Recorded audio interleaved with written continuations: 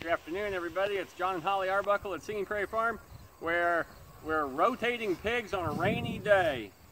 This beautiful pig we see here is about to have babies. Her name is Rosie, and Rosie has escaped from her from her pen. And whenever Rosie escapes, she goes out into our apple orchard and she eats apples until she can't hold anymore, and then she'll go back into her pen. As you can see, she's a really nice pig who likes belly rubs. So I hope all the animals in the world get treated this good.